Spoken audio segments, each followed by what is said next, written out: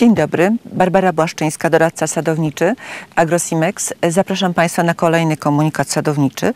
Tematyka dzisiejszego e, komunikatu e, to są rekomendowane zabiegi w sadach czereśni i wiśni po zbiorach e, owoców.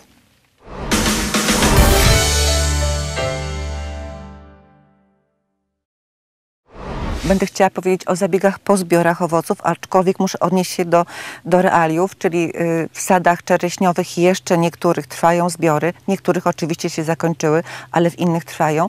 I tak samo w przypadku wiśni. Niektórzy już zakończyli zbiory wiśni łutówki, niektórzy jeszcze nie zaczęli, a gro osób już jest w trakcie zbiorów.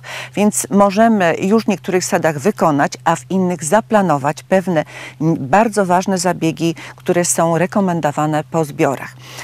I tutaj co trzeba zaplanować w sadach czereśni i wiśni po zbiorach? E, a więc zabiegi e, ochrony, walka z chorobami, kontynuacja e, zwalczania drobnej plamistości liści drzew pestkowych i raka bakteryjnego, również walka ze szkodnikami, ale właściwie to bym zwróciła uwagę przede wszystkim na przędziorkach mielowca, oczywiście nie w każdym sadzie, lokalnie tam, gdzie będzie stanowił zagrożenie, dlatego że przed nami jeszcze sierpień, kilka gorących ty tygodni, które będą prowokowały rozwój dalszy tego szkodnika. E, I proszę Państwa, kolejne zabiegi to jest nawożenie e, dolistne. Tutaj musimy zadbać o to, żeby liście były nie tylko zdrowe, ale i dobrze odżywione wtedy mamy lepszą jakość pąków kwiatowych i lepszą kondycję drzew i lepsze przygotowanie tych drzew do, do okresu zimy. E, I jest to również czas po zbiorach, jest to optymalny czas, e, aby e, zająć się cięciem e, czereśni. Jest to bardzo ważny zabieg fitosanitarny i wpływający też na jakość pąków kwiatowych. A więc nie zwlekajmy, zaplanujmy również to cięcie. I teraz przechodzę do szczegółów, czyli zaczynamy od chorób. Drobna plamistość liści drzew pestkowych. Proszę Państwa, jest to choroba liści, e, dlatego jej kontynuacja zwalczania tej choroby jest niezwykle ważna. Dlatego, że jeżeli wpuścimy tą chorobę do sadu, przestaniemy przestaniemy prowadzić, y, kontynuować ochronę, ona potrafi bardzo szybko atakować kolejne liście, a w konsekwencji takie liście przedwcześnie opadają. A właśnie nasza troska teraz po zbiorach to jest dbałość o liście, żeby były i dobrze odżywione i zdrowe. A więc drobna plamistość, kontynuacja ochrony. E, I chcę powiedzieć, że tak jak w tym sadzie, proszę Państwa, liście są zdrowe, to świadczy o tym, że ochrona w okresie infekcji pierwotnych była bardzo dobrze prowadzona i w tej chwili można e, ewentualnie po zbiorach wykonać jeden zabieg albo nawet z niego zrezygnować. Oczywiście, jeżeli będzie się prowadziło dalsze lustracje co do zdrowotności tych liści. Ale niestety w tych sadach, gdzie ochrona w okresie infekcji pierwotnych była niezbyt dobrze poprowadzona, nie, nie była szczelna, wpuściliśmy infekcję, e, e, tą chorobę do sadu i w konsekwencji mamy plamki na liściach, czyli są one źródłem zarodników konidialnych i te zarodniki konidialne będą infekowały w dalszej części sezonu. I proszę Państwa, nie muszą być opady deszczu, aczkolwiek w okresach deszczowej pogody rozwój choroby następuje bardzo dynamicznie, ale wystarczą czasami rosy nocne. A więc yy, zwalczanie tej choroby to jest bardzo ważna rzecz. I wykonujemy no właśnie w zależności od presji jeden, dwa zabiegi, a w niektórych może potrzebne będą nawet trzy zabiegi ochrony. Niestety mamy troszeczkę kłopot y, z dopuszczalnymi preparatami, fungicydami do walki z, tymi, z tą chorobą po zbiorach, dlatego że w czereśniach rejestrację ma tylko Sylit 544 SC, Oczywiście można go stosować w sezonie do dwóch razy, więc każdy z nas powinien przeanalizować, ile razy wykorzystał dodynę, dlatego że jest, dodyna jest substancją, na którą powstaje odporność, w związku z tym nie powinna być nadużywana. W, w, w wiśniach jest troszeczkę lepiej, dlatego że oprócz tego sylitu mamy również e, rejestrację sylitu 65WP i również niektórych preparatów na bazie kaptanu. My Państwu polecamy Merpan i kolejna choroba, e, o której trzeba pamiętać, to jest rak bakteryjny drzew pestkowych. Jest to choroba e, kolejna, bardzo groźna, jeżeli chodzi o czereśnie, może bardziej groźniejsza nawet niż ta poprzednia. E, I latem, teraz po zbiorach, planujemy cięcie drzew ale zanim podejmujemy się y, y, cięcia, powinniśmy zlustrować sad i oczyścić rany rakowe, które spotykamy na, na pniach i na grubszych gałęziach. Jest to źródło infekcji bakterii w okresie, kiedy będą opadały liście, kiedy będą ślady poliściowe i jest to również jest to źródło infekcji bak y, bakteriami w okresie, kiedy będzie przeprowadzone cięcie, a więc będą rany na drzewach. Czyszczenie tych ran minimalizuje presję choroby w okresie, kiedy będzie mogła atakować, czyli właśnie jak wspomniałam jesienią, e, w okresach, w okresach późnego lata, jesienią i na przedwiośniu. I proszę Państwa, e, takie rany trzeba oczyścić, czyli usuwamy chorą tkankę e, z zapasem tkanki zdrowej i takie rany oczyszczone zabezpieczamy e, albo farbą emulsyjną z fungicydem miedziowym, mniej więcej w ilości na litr farby 1-2 deko takiego fungicydu miedziowego. E, również polecamy Państwu preparat do tego przeznaczony, czyli żel Wiflohitozol Silver i chcę powiedzieć, że jest to bardzo dobry produkt, dlatego że jest to połączenie hitozanu i srebra. Hitozan, ta substancja stymuluje mechanizm obronny e, rośliny przed różnymi patogenami, w tym bakteriami, a srebro ma takie właściwości dodatkowo odkażające. Preparat ten ma też taką zaletę, że nadaje się do stosowania właśnie w warunkach, kiedy mamy e, wpływ pogody, czyli opady deszczu, nasłonecznienie. On jest niewrażliwy na takie, takie, takie elementy pogody, także E, raz, że doskonale zabezpiecza trwałą, elastyczną powłoką, a ponadto powoduje, że rany szybciej się po prostu e, goją. E, oczywiście, jeżeli będziemy prowadzić cięcie drzew, to, proszę Państwa, cięcie prowadzimy w dni słoneczne i suche, ale jeżeli zdarzy się jakiś nieoczekiwany deszcz w tym okresie, e, to dobrze takie rany zabezpieczyć również e, fungicydem miedziowym e, lub w ofercie firmy Agrosimex są nawozy miedziowe, na przykład Miedź Plus w dawce 3 kg na hektar, czy nawóz miedziowy Wifloceubor, który oprócz tego, że zawiera miedź, która działa też systemicznie, ma mikroelementy, które które w tym okresie e, końca lata są bardzo, bardzo przy okazji potrzebne.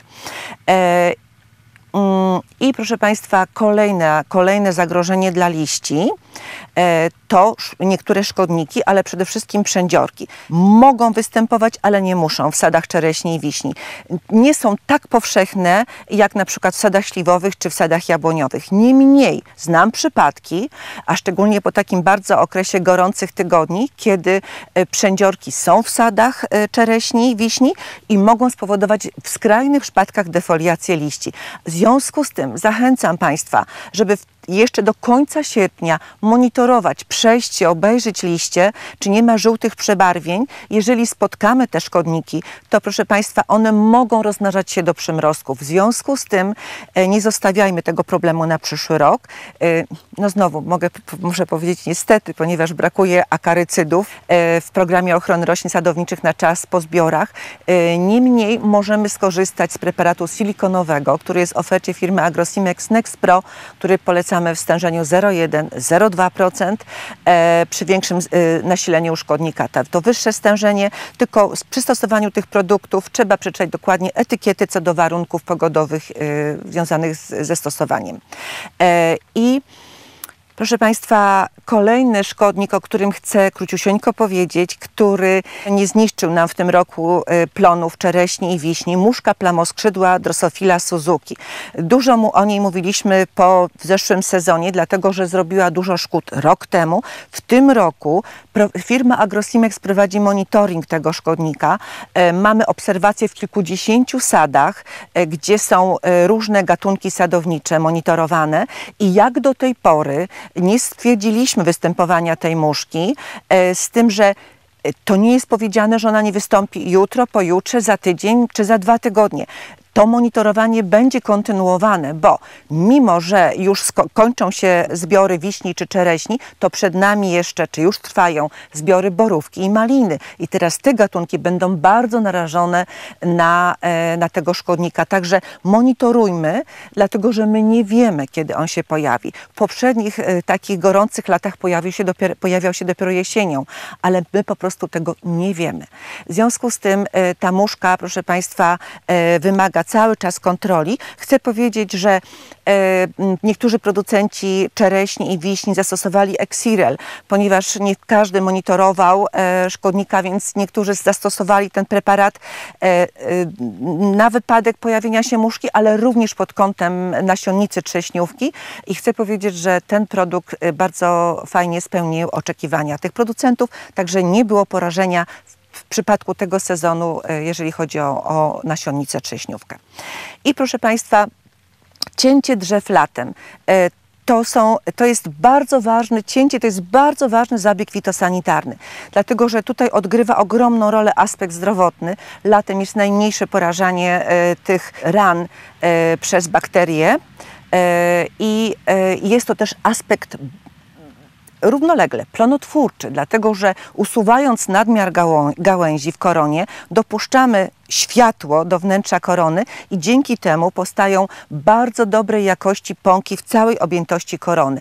Także termin cięcia to są te najbliższe tygodnie do końca sierpnia. Tak jak wspominałam, wybieramy dzień ciepły, suchy, słoneczny, e, bo w takich warunkach rany dość szybko obsychają, także unikamy ty, tych infekcji i w tym okresie drzewa mają wyższą naturalną odporność na porażenie.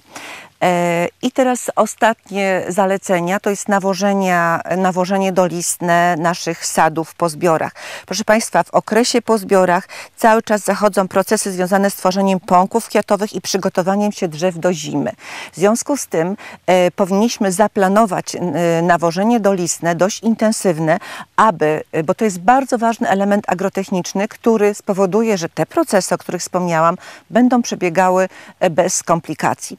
E, i tutaj musimy zaplanować trzy zabiegi dolistne e, i polecamy Państwu takie składniki makro i mikro, azot, magnez, potas i mikroelementy cynk e, i bor. E, oczywiście też pod, podpieramy się aminokwasami. I proszę Państwa, co możemy tutaj Państwu zaproponować? Można wykonać zabieg złożony z azofolu, to jest dawka 5 do 10 litrów na hektar. E, do tego mm, dodajemy siedmiowodny e, siarczan magnezu około 6 kg na hektar. E, może być również ASX magnez w zastępstwie 4 kg na hektar. I proszę Państwa, bardzo ważne mikroelementy, czyli nawóz ASX kompleks zawierający całą, całą gamę mikroelementów w ilości kilogram na hektar.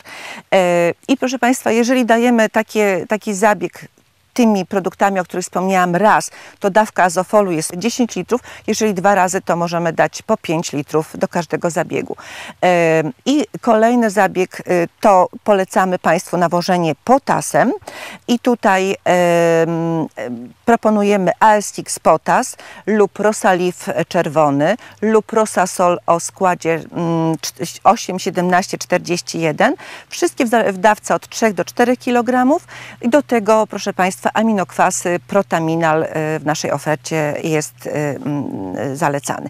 I oczywiście mikroelementy dodatkowo możemy podać E, właśnie te mikroelementy, czyli bor i cynk, a więc bolero w dawce 2 litry na hektar, cynk w dawce litr na hektar, ewentualnie nawóz bolero ZN, czyli zawierający jedno i drugie w dawce 4 litry na hektar, łącznie z aminokwasami. I proszę Państwa, jeszcze ostatnie e, zdanie, rosa humus. To jest nawóz na bazie kwasów humusowych. Zachęcam Państwa do zastosowania w tych sadach, gdzie były intensywne opady deszczu, które spowodowały bardzo złe zniszczenie struktury gleby, zalanie tej gleby, bo jest to produkt, który poprawia te właściwości i fizyczne, i biologiczne, i chemiczne. Dziękuję bardzo za uwagę.